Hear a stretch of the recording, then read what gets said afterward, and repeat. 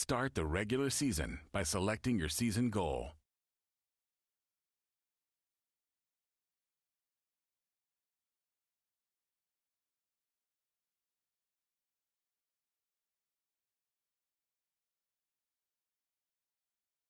Kick your season off by meeting your season goal comes with higher rewards, but also higher risk.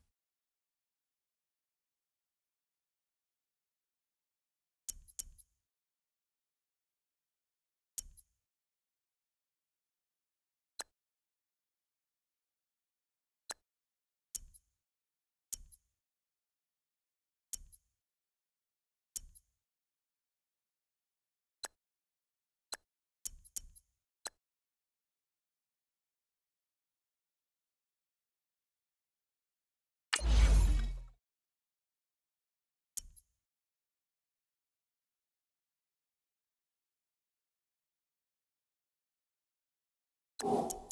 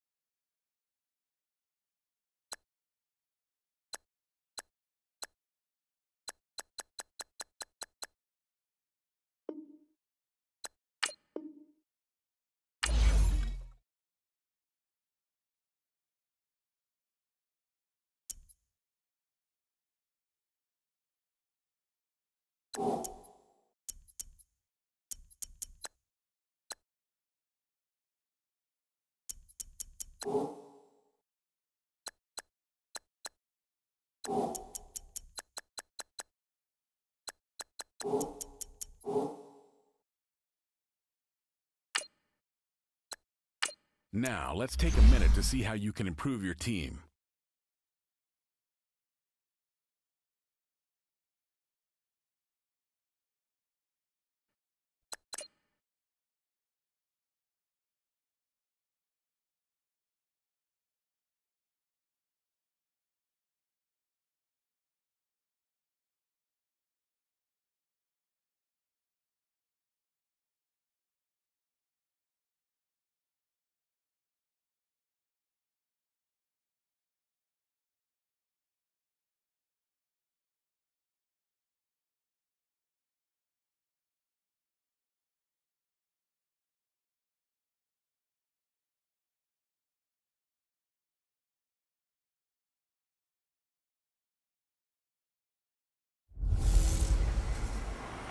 Saquon Barkley, welcome to the NFL. It's the coach. You're tuned into week one of the NFL EA Sports. Coming up, Giants fans will see the debut of their dynamic new runner, number two overall pick, Saquon Barkley, as the New York Giants are in for a test. The toughest defenses in the NFL, the Jacksonville Jaguars. I'll be back at halftime with a look ahead to the early game. You're back up to MetLife Stadium. Here are Brandon Gaudin Charles Davis. All right, Coach, we welcome everybody to the Garden State. EA Sports coverage of the NFL finds us at MetLife Stadium in East Rutherford, New Jersey. This crowd a few minutes ago stirred into action at the side of their men in blue emerging from the MetLife tunnels. We're set to go as the Giants get ready to match up with the Jacksonville Jaguars. Alongside my partner, Charles Davis, I'm Brandon Gaudin. And, Charles, you take a look at this Giants ball club. And I don't think from what we saw down on the field before the game, there's any doubt they're ready to roll. They pass the eye test, don't they? This team looks fired up and ready to play. Meanwhile, for the visiting Jaguars, an early season tilt. And when it's an early season tilt, should be ready to roll. Well, let's face it, the aches and pains haven't really set in yet and both teams eyeing a really good start to get things going. No more training camp, no more exhibitions. The 2018 NFL season on EA Sports is underway. And a good effort on the return there. Gets him across the 30 to the 33-yard line. Ready in the Eli Manning. When you look at Eli Manning posted in 2007, there's plenty of cause for concern. Lowest yards per completion of his career.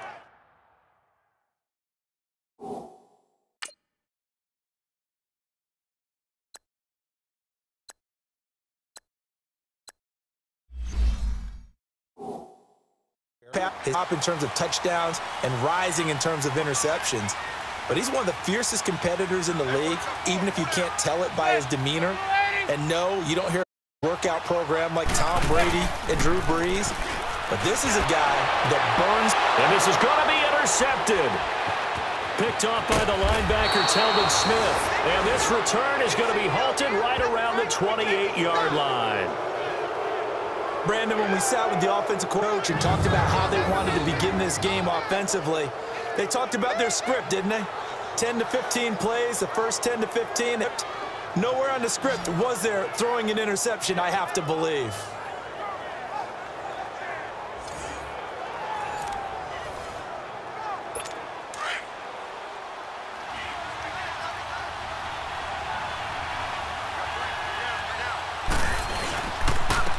Here's Leonard Fournette, 1,000-yard rusher from a year ago. And he is met in his tracks behind the line of scrimmage. They'll wind up losing three yards here. And that'll make this a second and 13. And the big fella stuffed that one up in a big way. I think doubling him has to be a priority because you can't move up to the next level if you don't take care of him first. Now Bortles. This one complete to Niles Paul. And he gets it all the way down inside the 10 and mark him at the 5. A really nice game, five yards.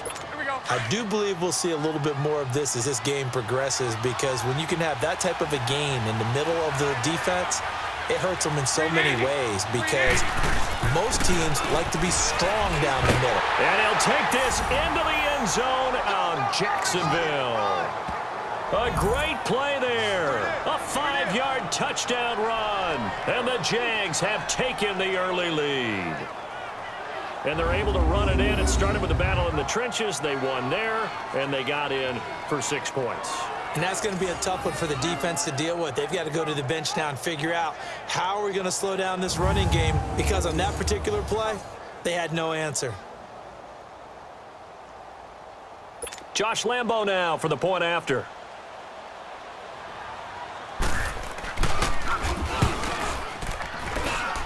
Lambo. And it's now a 7-0 game.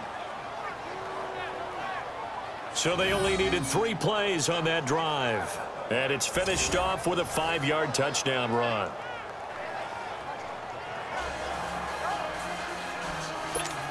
Here's Lambo out to kick this one away. This one taken just inside the 10. And nice work on the return as they'll start their drive just past the 30-yard line. The Giants making their way out, and at this point, you would have to think that all mentions of last year maybe erased from team history, or at least that's what they want. It clearly, Charles, correct me if I'm wrong, the talent on this team, too good for another 3 and 13 finish, right? And I think that was reflected in their draft in 2018. Because if it was an all-out rebuild, they would have drafted a quarterback at number two.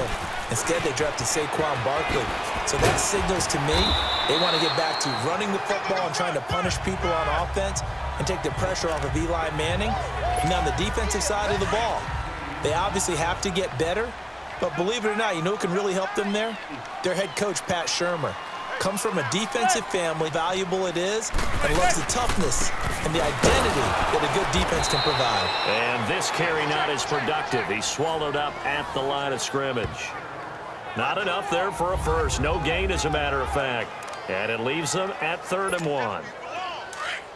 And the offensive starters for the New York Giants. Great time to focus on a healthy group of pass catchers. How about Odell Beckham and Evan Engram Because health is the key for them. When they stack up against just about any threesome in the NFL. Two terrific wide receivers and a... Trying to get it to Beckham, and it's intercepted. A.J. Bouye with a pick. And a big turnover there as his guys will get the football back. Well, they didn't exactly show patience there, did they? Just down a score, they come out firing right away and compound things by throwing an interception. They put their defense in a really tough spot.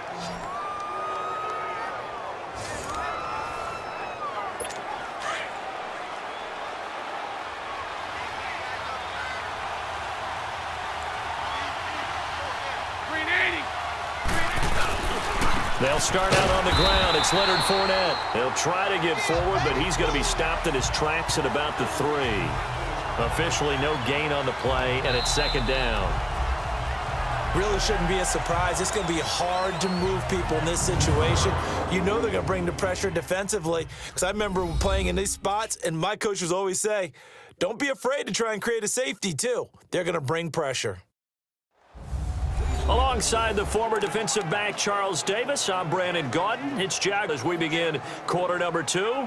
They've got it second and 10 out. The stop for no gain brings up second and 10 from the 20.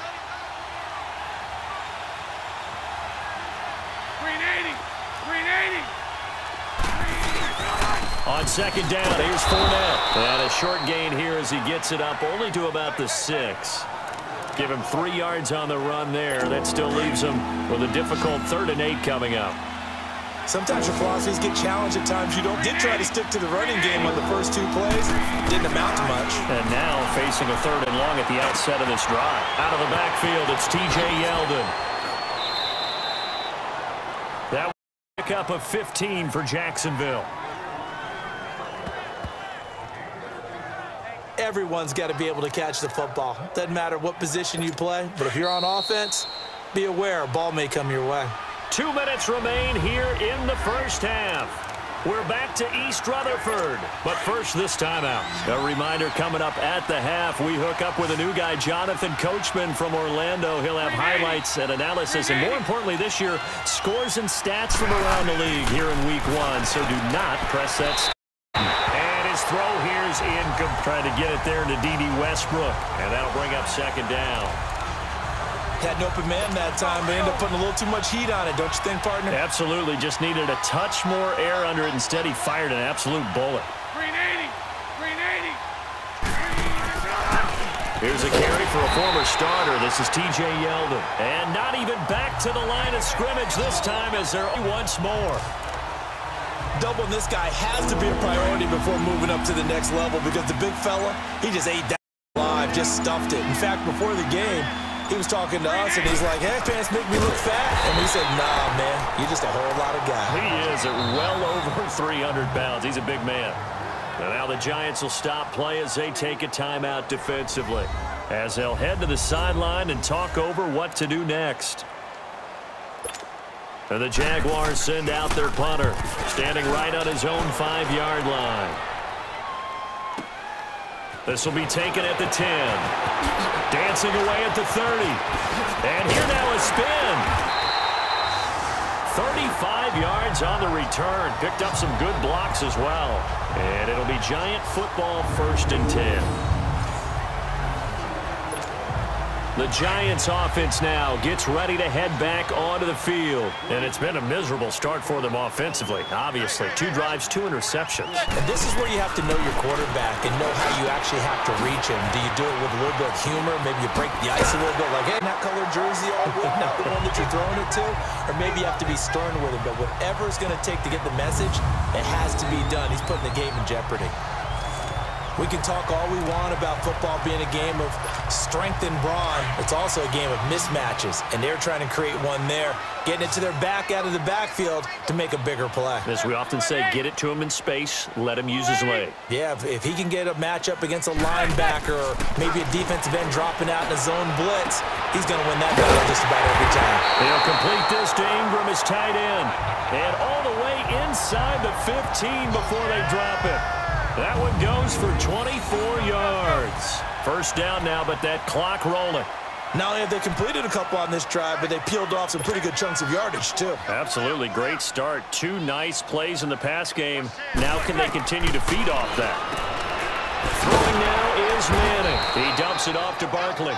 And he goes backwards here, losing yardage back to the 16. Now whistles come in. We're going to get a timeout here by the offense. As they stop it with 19 seconds to go in half number one. Second and 12 after the first down pass play went backwards for two yards.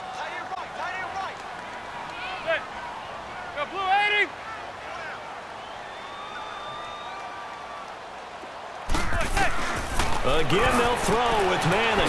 Open man right side is Engram. Only three yards on the catch. It's third down. Well, this is how you shake the thoughts of that interception on the last drive. You come out and start this one four for four. And watching him throw it around with that type of confidence reminds me of a guy I played with way back when who told me, I don't care if I throw 10 interceptions in a row, I'm going to stay winging it. I just figured there's something wrong with the football. And he'll be brought down this time at the five-yard line. A good effort there, nine yards, but it's going to leave him looking at a fourth and one. Now whistles and a timeout with three seconds left in the first half.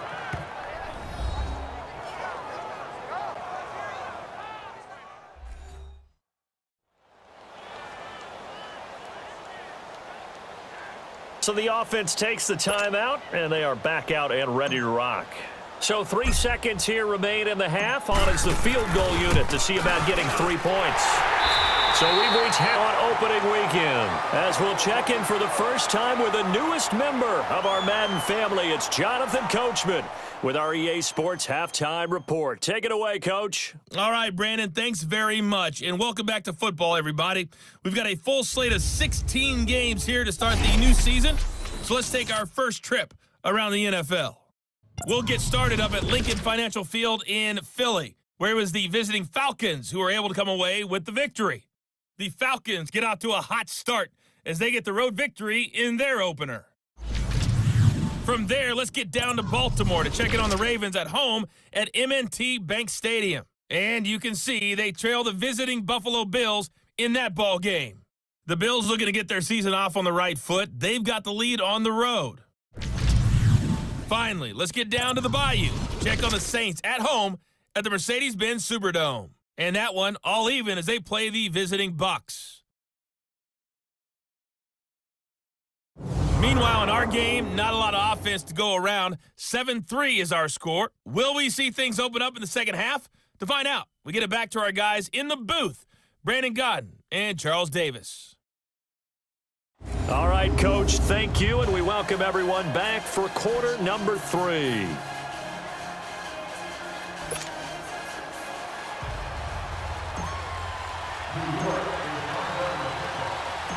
Rosas now to kick this one away. And that'll carry over the back line of the end zone for a touchback.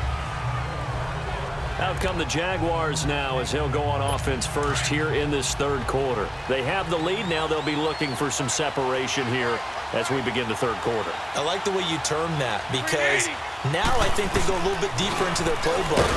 They like what they did in the first half. That worked okay. But in order to get the separation that you just talked about, change things up a little bit. Change your tendencies. Try and hit them a little bit more with some things they didn't see in the first half. We'll see if they do just that.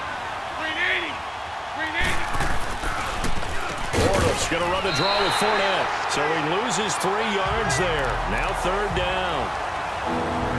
So statistically, both of these offenses having a rough time getting a running game going. But boy, what a nice play there defensively. Tackling him behind the line, but you're right. You look at the numbers. Neither side looks on track in the ground game. He's going to air one out. And he fires one that's intercepted. Picked off by Eli Apple. And a return 39-yard line. First possession, third quarter, an interception, so maybe a second-half tone setter. Indeed, and not the tone they wanted to set. That's the equivalent of running out the wrong door and running into your pool instead of running out onto the field. A real dud for that one. Has that happened to you before? No, but I've heard stories about teams actually doing that back in the good old days. Here's the Giants offense now getting set to start the third quarter. And they have to feel like they missed on an opportunity for points last time when they couldn't connect on that short field goal try. And no doubt about it because they were counting on those points. In today's NFL, let's face it, that's really a chip shot, right? That's anything inside 40. Yeah, they, they're counting on that going through the post, but we've seen it happen. It's caught inside the 25. Russell, 61 yards, and the Giants are in for six. And he showcased his blazing speed on that one. Was he wearing football cleats or track spikes? because he was gone. Big-time play, and just think about what that does if you're a receiver on the team with him. Well, that's got to open things up for you as well because if I'm a defense, I've got to get back deeper and deeper in order to keep him in front. But I'm not sure how many can actually keep him in front with that speed.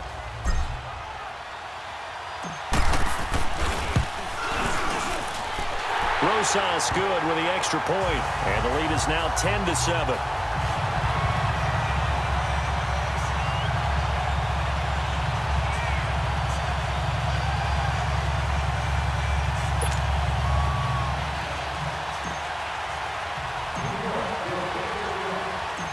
Rosas now to kick this one away.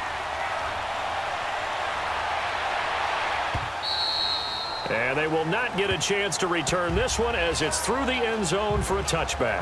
Getting set to go again, Blake Bortles marches back onto the field with his offense. He's likely still kicking himself from the interception last drive that wound up leading to a go-ahead score. And he's going to assume all that came with that one, all right? That's all on him. And he also knows he's got to erase it from his mind and get back out there. This drive, very important. Yeah, give him four yards there. It'll be second and six. Tough first half for him, unable to put up the numbers he's used to producing. But with a guy like him, you and I both know it just takes a couple of explosive touches for him to make an impact on this game and on the stat sheet as well. And this has been a familiar all afternoon. Stop him behind the line. They'll wind up losing three yards here. And that'll lead here to a third down.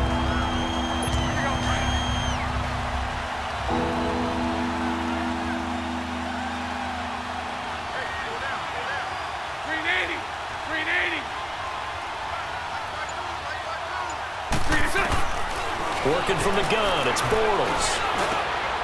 He finds Yeldon. Oh, he breaks a tackle, and he's got an alley. And they'll get this well past midfield before being stopped just before the 35. And that goes as a gain of 37 on third down. Well, partner, I'm not sure how this drive's going to end, but how about the way they flip field position there? A nice attacking play that picked up a heck of a chunk of yardage. So how about that for a chain mover? They're all the way down inside the 40 now for first and 10. And that is going to do it for this third quarter of action. We'll return with more after this break. You're watching the NFL on EA Sports. Welcome back now here in East Rutherford. It's been a very hotly contested game to this point. Just a field goal separating these two teams as we set for the fourth quarter. Bortles now on first down. And seeing no he just tosses this one away incomplete. Now that'll bring up second down. A pretty good coverage there, and both of these defenses, they've had good coverage throughout this one. No doubt about it. And in today's NFL, where we're used to a bit more scoring, this feels almost like a well-pitched game in baseball on both sides where the tension continues to build. Who's going to make the big play? Over to the right side, caught by Moncrief. And he's going to get it down to the 33-yard line here. Four yards on the completion, and it sets up a third down. One thing I think that's safe to say defensively, the tackling's been really good. And because of that, it's been very, very hard for them to move the ball because you're not getting the benefits of run after catch. They're tackling almost on the spot. And, oh, a crusher there as it's intercepted. Picked off by Eli Apple. And his guys will take over at the 25-yard line. Brandon, offensively, this has been a tough day for him. Trying to find a place to throw the football. It's been extremely difficult. I've got to give a lot of credit to the secondary, especially the corners who've had the receivers on lockdown. They'll start out on the ground and Saquon Barkley. And they're able to get this one across the 35. First play of the drive going for 14 and a first down.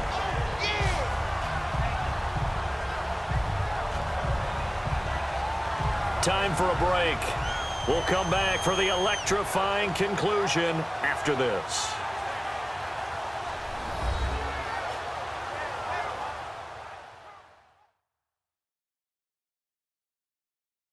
So it's Giants football here as we welcome you back. They've got a first and 10 as they look to try and finish this one off.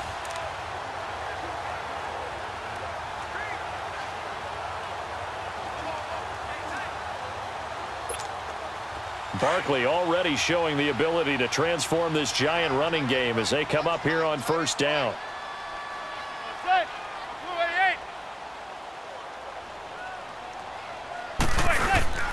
They Barkley on first down. And hard running's going to get him over the 40 to the 42. And now right out of the two-minute break, we'll get a timeout used defensively with a minute 56 to go.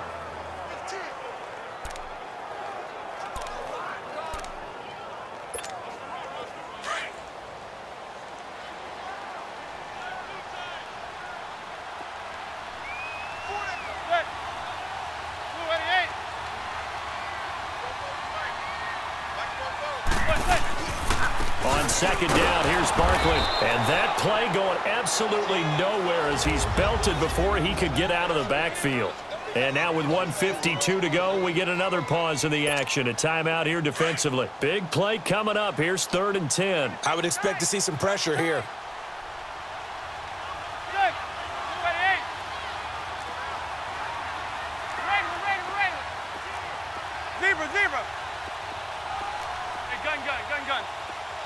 And the blitz does come. It's a short one here, complete to the tight end. They get only four that time as that leads us to a fourth down. I hate to surrender the football when you're nursing a slim lead, but they're going to have to punt it away. Trust that defense. It's the right play at this stage of the game as well. You don't need to press it here because you do have that little bit of a cushion, and you count on your D to make it stand up. 41-yard punt. The net a little greater, though, following a loss on the return. And it'll be Jaguar football as they take over deep in their own territory. Here comes the Jaguars offense as they get set here. And there are parts of their last drive they'd like to emulate. And, of course, they'd like to forget the inning, the interception. But they did put together, Charles, a nice sustained drive to get him down the field. Yeah, and unfortunately for them, the only thing that matters is part two, right? Because once they threw the interception and finished off the drive, that does them no good to go back and say, well, you know what, a good one going. Finish things off. That's the only way you can get it done. throwing to start the drive, but that one incomplete. He was unable to complete it there, and just not the game that you would expect from him. He's been off the mark really start to finish. Yeah, it makes you wonder what exactly is going on. Is he a little bit dinged up here, or is he just off just by a bit? Maybe he can get it back in this situation. He'll need to. And some room to work. And he'll avoid the tackle there with a slide. He'll end up getting five out of that, but now they're looking at third down. They'll get to the line here, but remember down. Bortles gives to Yeldon on the draw. And he's able to get the first here as he's taken down at the 25. Call it a gain of seven, and it gets him a new set of downs. They'll look to throw. And he can't get a throw off. He's taken down. What a huge play at this point in the game. Connor Barwin in there to drop him as the clock continues to roll. And with the clock ticking under 50 seconds now, he spikes it. The Jaguars on third down. They've hit it 50%, three of six to this point. This will be a tough third and 18. He's back to throw. And he'll just toss it away. So he throws it away, and that brings up fourth down. We've seen these defenses make enough opportunistic plays to keep this one low scoring. Flying around, making plays on the ball, and we see yet another errant throw as a result.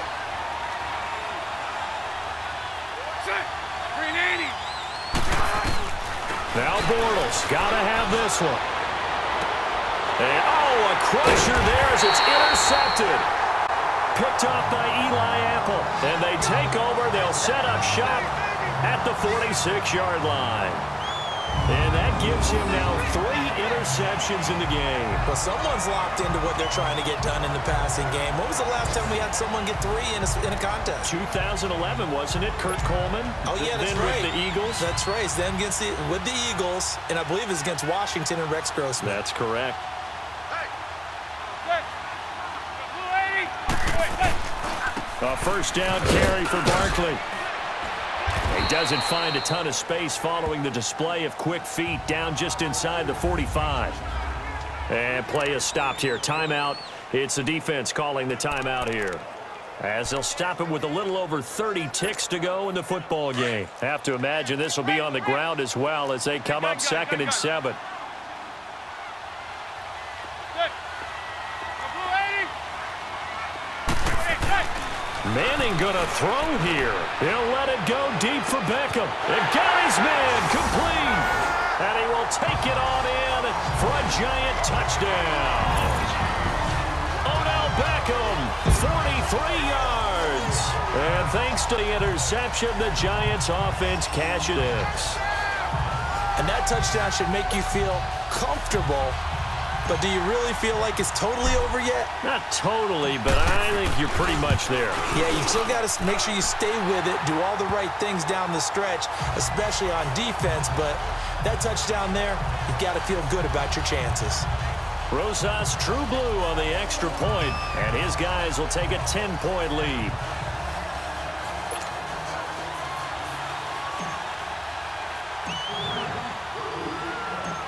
Run to kick this one away. This will be fielded at the 8. And he'll take it past the 25 and up to the 28-yard line. The Jags offense now gets set and heads back onto the field. They might be thinking this is close to a lost cause here. Got to play it out. What do they need to do? Well, they have a thought process in mind already, but they can't get ahead of themselves. They know that they need to score quickly, Yep, two-score game. onside kick and get the ball back, and then score again. But they can't worry about the last two points. the only thing that matters is scoring quickly. Then they'll take it from there. Now, the first play of the drive there is incomplete. What's the old adage? Be quick, but don't hurry. Well, that went right out the window there. He was hurried, harassed. that ball had to be gotten rid of, otherwise he was going to get sacked. And that one almost intercepted. Far too loose with the football here. Nearly a fourth pick. And it's third down.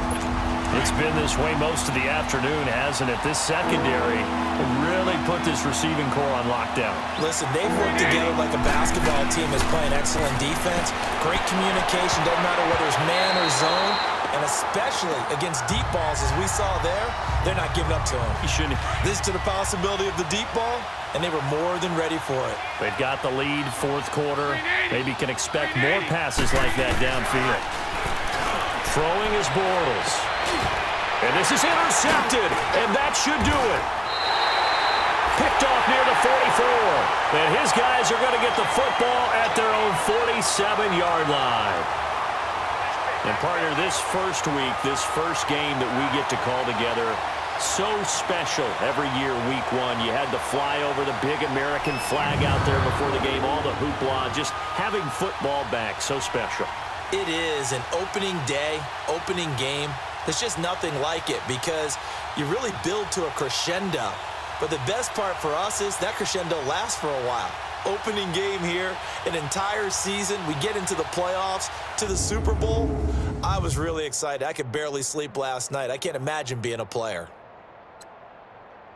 So for the Giants, that'll be a happy locker room as they start this season 1-0. And they'll hit the road next week to take on the Dallas Cowboys. Meanwhile, for the Jaguars, they obviously fall to 0-1 with the defeat. And they'll try again next week at home against New England. And for Charles Davis and our entire crew, I'm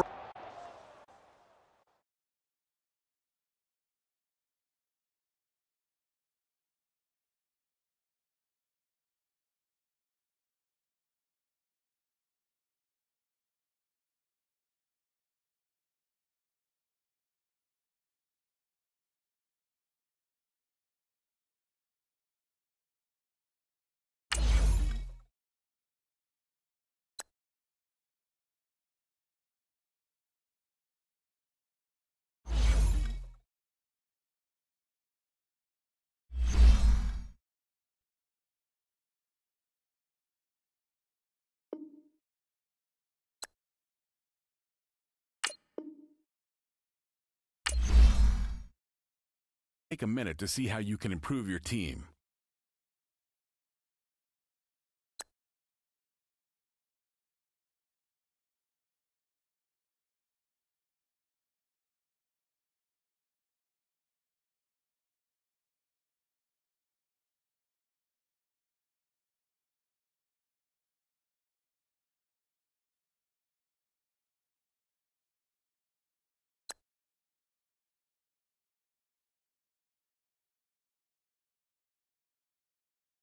Once you're ready, go ahead and select Advanced. You have grades for each position. Browse available players to improve your team.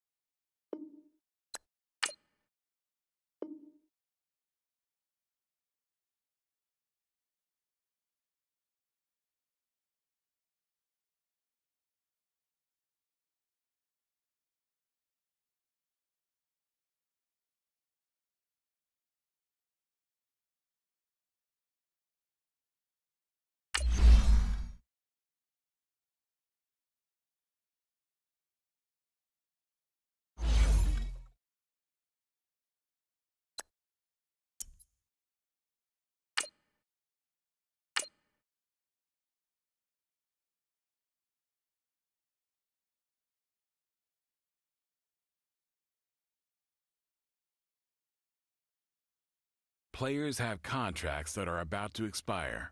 Re sign them so you don't lose them to free agency.